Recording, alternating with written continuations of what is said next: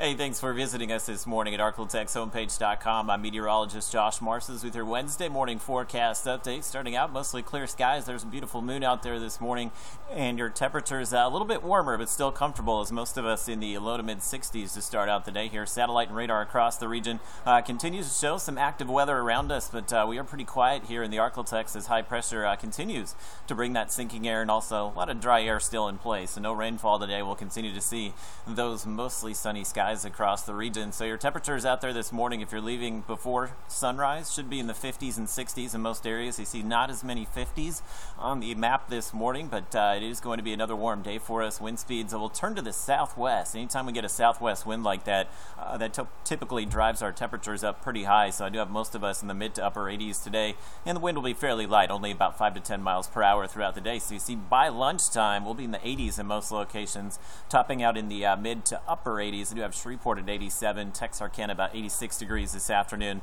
Uh, could see Natchitoches into the upper 80s as well. So we're starting to turn that corner where it goes from warm to just downright hot. But uh, you can see the overall weather pattern here. We do have the big ridge of high pressure that is still set up uh, across the desert southwest and also portions of Texas. So uh, what that is doing is just kind of keeping the storms off to the north of us. And you can see uh, not much happening underneath that ridge, which is typical when you get the sinking air like that. And uh, that will be our weather pattern for the rest of the week. But we do have our next disturbance. You see making its way onto the California coastline there. That will bring that chance of storms as we go through the weekend. So Futurecast, not a lot to see here as far as your uh, Wednesday and into your Thursday. We'll just continue to call it uh, mostly sunny across the region here for the next two days, probably on Friday as well. Widening out the view uh, just to show you the storms that will roll in on Saturday. Uh, expecting those storms will pop up in central Texas again Saturday afternoon and then come rolling towards the Arklatex. So we may see some rain East Texas, Oklahoma Saturday evening, but for most of us, this will be an overnight uh, thunderstorm threat for us. And we are still in the Storm Prediction Center's day four outlook. So when that outlook is issued tomorrow,